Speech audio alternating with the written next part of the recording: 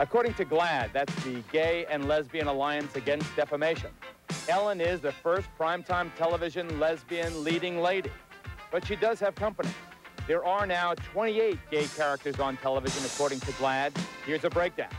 ER's intern, Dr. Maggie Doyle. NYPD Blues officer, Abby Sullivan.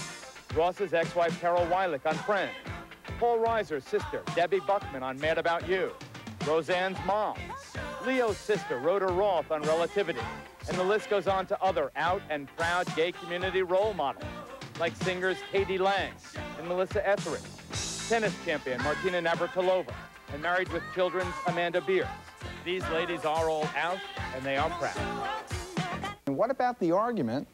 And I must admit that I've, uh, I've given this some thought myself. I have two girls, two years old and four years old. I mean, they're not into Ellen anyplace, but anyway, but what if they were eight and 10 years old? What about the, I don't know, putting the message out there? Isn't there some concern? No, there's not.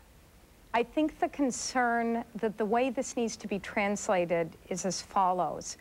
First of all, the American public celebrates, Americans crave non-discrimination, and that's at the very core of American values.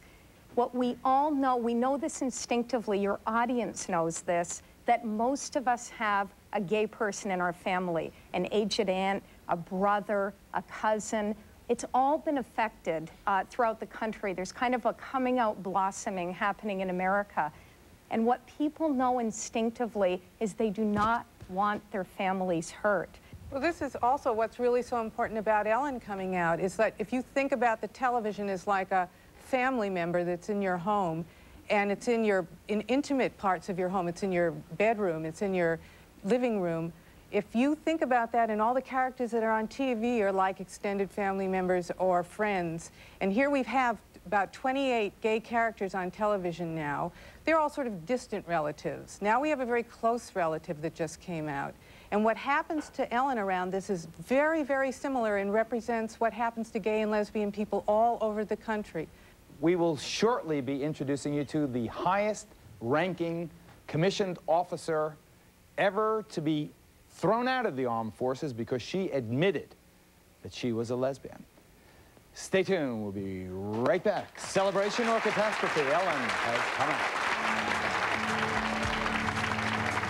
Glenn Close played her in uh, the movie Serving in Silence, the name of both uh, this fine book and the film. This has been a crossroads for me.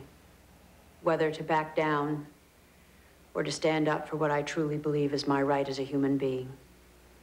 That my career, my abilities, my contribution have nothing to do with my sexual orientation.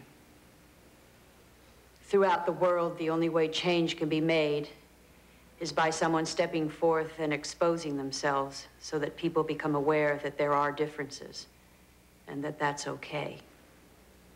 So I choose to be here, to sit before you and my family and be vulnerable in the hopes that I can be a little bit of an influence in making a change. She's a mom, four kids, five grandchildren. Let me just tell you this about this lady. She served with such distinction and courage in the Vietnam War. She was awarded by our country the Bronze Star. And I wonder, I wonder, Colonel, whether you were more frightened in combat or more frightened about coming out or being outed. I didn't realize I was being outed. Uh, when I said I am a lesbian as part of a top secret security clearance, I was being honest with myself and also as part of the investigation uh, to try to move on in my career in the military and didn't realize at the time that honesty would cost my career.